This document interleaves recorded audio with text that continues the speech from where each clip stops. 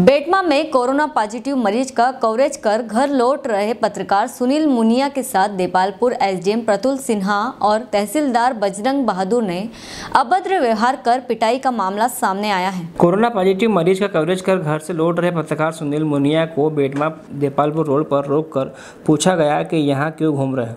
पत्रकार सुनील मुनिया द्वारा जवाब दिया गया कि, सर, मैं पत्रकार हूँ, कवरेज कर घर जा रहा हूँ। तो एसडीएम प्रतुल सिन्हा ने कहा कि, पत्रकार है तो हम क्या करें? और गाली देने लगे। फिर सुनील ने अपना आई कार्ड दिखाया तो एसडीएम और तहसीलदार ने कहा कि ये नकली है और सैनिक को आदेश दिया कि इन्हें पीटे और पीटने और गाली गलौज कर अभद्र व्यवहार किया। इस प्रकरण में देपालपुर प्रेस क्लब में काफ़ी नाराज़गी है। प्रेस क्लब अध्यक्ष दिलीप यादव और यूनाइटेड प्रेस क्लब अध्यक्ष प्रभु अग्रवाल हंसराज धाकड़ क्रांति मंच देपालपुर अध्यक्ष कलेक्टर महोदय को ज्ञापन देते हुए पत्रकारों के खिलाफ हो रहे अत्याचार पर कार्यवाही की मांग की।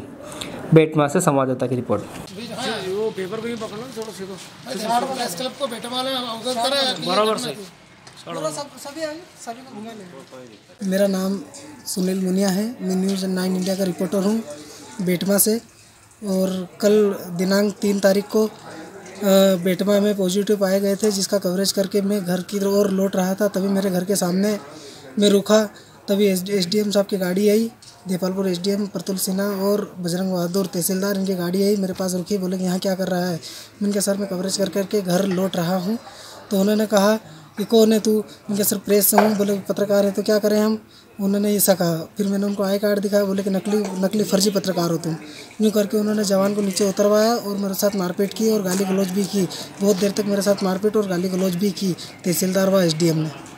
बताइए हाँ, देव देपालपुर तहसील की जो बेटमा नगर पंचायत है वहाँ रिपोर्टर सुनील मुनिया जी एक अच्छे पत्रकार है और इनकी कई सामाजिक कार्यों में भूमिकाएँ रहती है।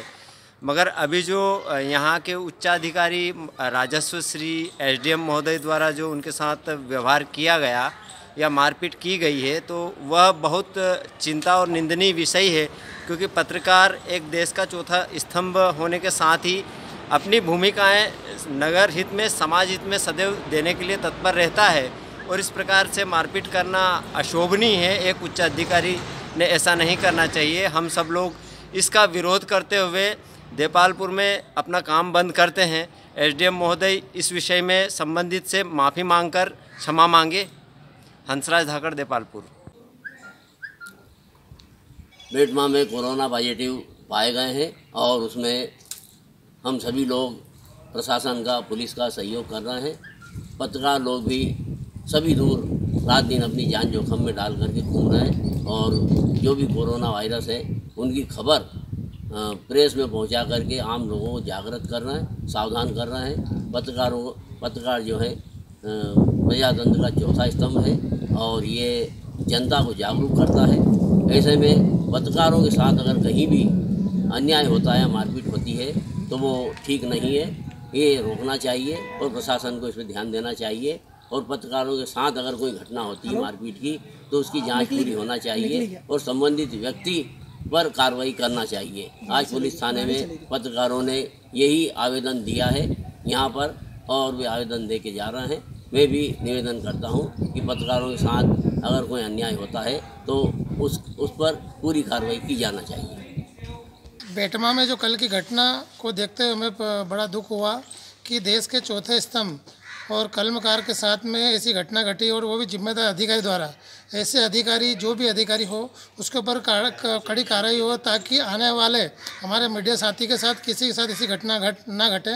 Prabhu Agrawal United Press Club Depalpur. दादा आज के ज्ञापन के विषय में बताइए। बेटमा में कल जो हमारे पत्रकार साथी के साथ जो घटना हुई वाकई में वो निंदनीय है। अगर इस तरह का मामला प्रशासन जैसे वरिष्ठ अधिकारी ने किया है तो वाकई में वो दुर्भाग्यपूर्ण स्थिति है। पूरा देपालपुर प्रेस क्लब और पत्रकार साथी इस घटना की निंदा करते हैं और प्रशासन से मांग करते हैं कि जल्दी ही इस पर कड़ी कार्रवाई कर पत्रकारों के हितों की रक्षा की जाए। हेलो फ्रेंड्स आप देख रहे हैं हमारा channel S W twenty four news हमारे सारे वीडियो सबसे पहले देखने के लिए आप हमारे चैनल को सब्सक्राइब करें और पास में लगे बेल आइकन को दबाना बिल्कुल भी ना भूलें।